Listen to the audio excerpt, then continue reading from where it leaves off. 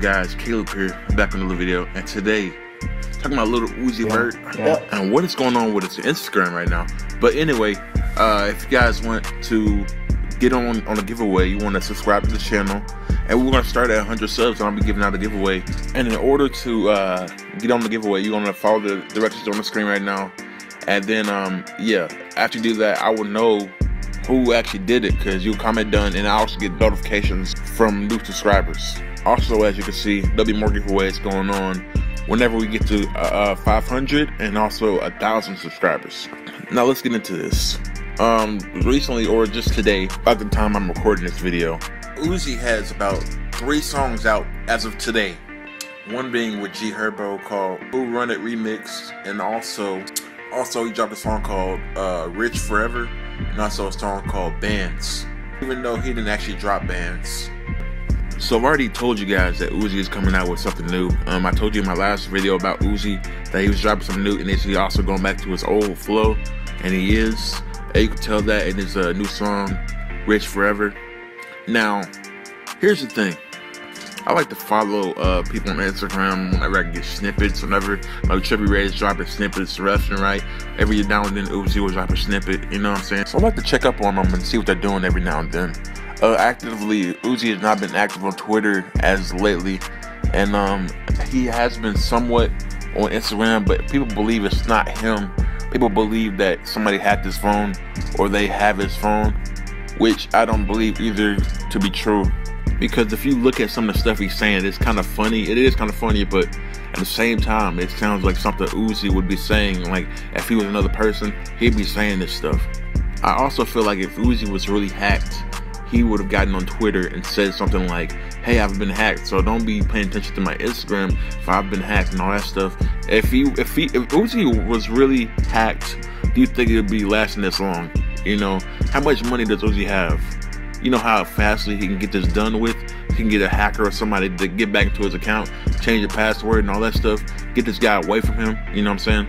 So this is this is obviously Uzi, and I'll read you a quote from the a post he put up lately. So you see this on screen, and I'm gonna read it to you. Been looking through Uzi messages. I feel bad for the kid. He has had so many platinum plaques and charting songs, but for some reason he is still broke. Been going through his messages, and he has some good songs in this thing. It's a shame that his bosses won't let him put any content out. Honestly, I care nothing about the guy, but I hate when people get taken advantage of. I typed in SoundCloud and Uzi messages, and every password came up. Thank me later, Uzi. I'm leaking songs for you fans. Now, if somebody were to hack his account, do you think they would actually care that this whole thing is going on about him and his DJ and it's like signed to a DJ and it's come with the fake stuff. Do you think they would care about that? No, they would not care. They would actually do more harm than good. And I like how he's doing it in a way that like he can't tweet or nothing. He's not tweeting or anything. So that's the only way that he's getting out of actually trying to release music. Cause you know how his managers are. And we've talked about this in the past about how they won't let him release stuff. This is why Luv is Rage 2 took so long to come out. It wasn't Uzi trying to decide, oh, I'm gonna take this on for it to come out. No, his record label stopped that from coming out. They were the reason it hasn't come out till August. That's their fault. They're the reason for that happening. We've seen Uzi complain on Twitter about the days on SoundCloud when he can release anything, and nowadays he can't release anything. He misses SoundCloud. This is him getting back into SoundCloud. So this is a way for him back to get into SoundCloud because he normally doesn't even post anything on SoundCloud. Also, I think of like this whole thing is kind of a gimmick thing, you know. So whenever um, Luv Is Rage 2 come out, you had all these people kind of going after him about like, oh, you're a Satanist and all that stuff. And I, I even made a video on this. If you guys want to look at it, uh, I'll probably leave it in the links below. But anyway, yeah, he people were calling him a, a Satanist because he wear upside down cross and everything else. But he's really, it was really a gimmick to sell his new album that had nothing to do with being a Satanist or anything.